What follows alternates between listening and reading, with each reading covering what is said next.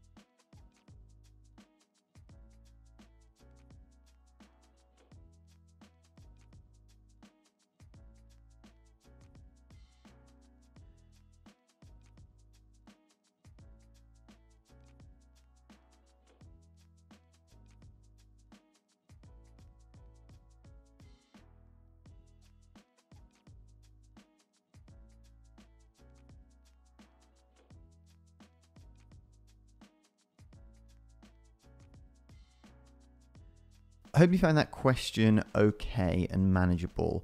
Actually, as I was going through the answers of this, I found that there's actually a mistake on this. So I added my own, you can choose one or more because it says one of them is incorrect, which actually isn't. So let's go through it and I'll talk you through the answers. So the first stage with this is that we have to work out which dice is which, right? So we know that what which die is which, should I say. So we know that one of them, opposite sides will always add up to 9, and the other, the opposite sides will always add up to 5, right?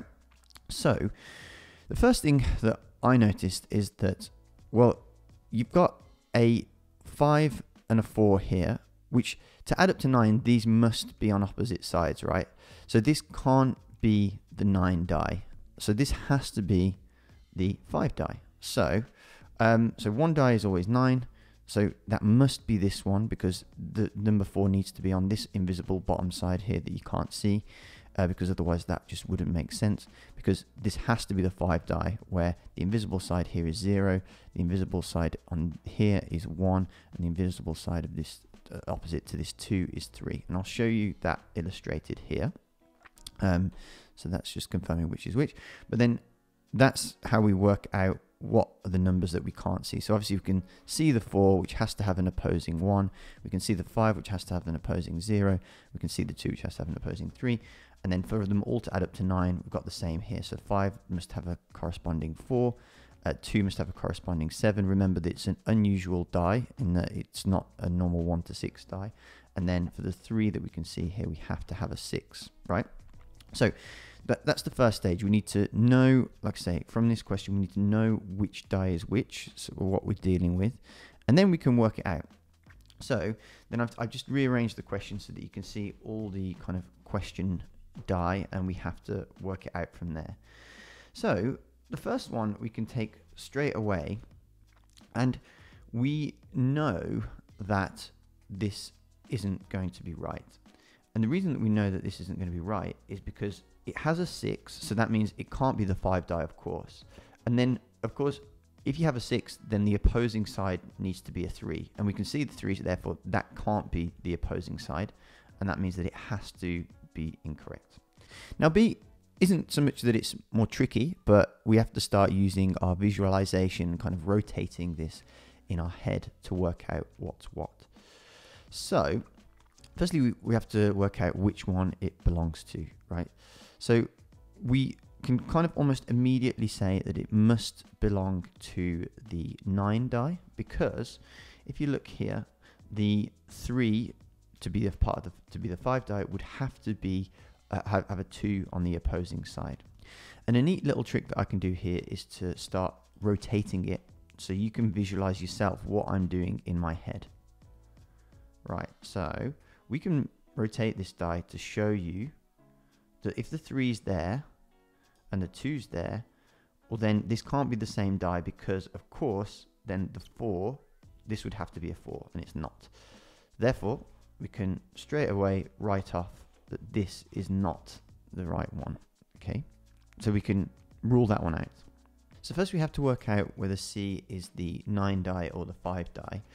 And the way that we can work that out is that you can imagine if this was flipped this way around and the 1 was the invisible side, then you couldn't have the 2 on the other side because that wouldn't add it up to 9 and therefore this has to be the 5 die.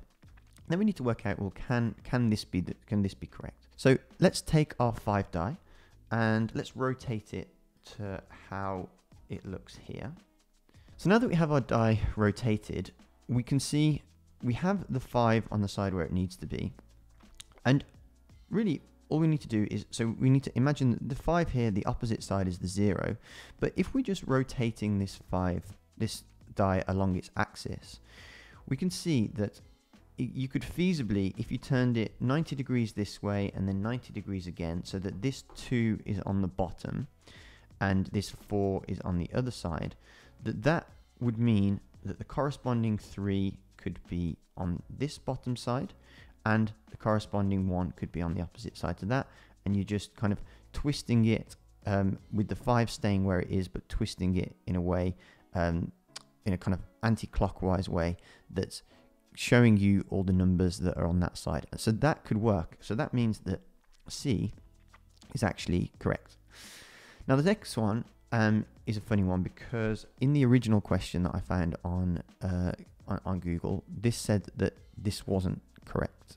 But let me show you why this is correct. So straight away we know that D is belonging to the 9 die family. But does it work with the current die or do we have to do anything to make this visible that it that it works. So let's rotate it back into a format where we can see it. Now, a similar sort of thing. If we were to rotate this die 90 degrees this way, could this work? Because for this to work, as we rotate it 90 degrees one way, then the 2 could be on the top, the 5 could stay where it is. So we can't replicate that, but you can imagine if we were turning this 90 degrees that way, this 3 would go over the edge, this 2 would go where the 3 currently is, and then we would expose a number here. Now, if that were to be a 6, then that would mean that the 3 and the 6 have opposing ones, which add up to 9. The 2 would then require a 7 here. We don't, we can't see that, but we can imagine that the 7 is there. And then the 4 could be on this other invisible side, the back side that we can't see.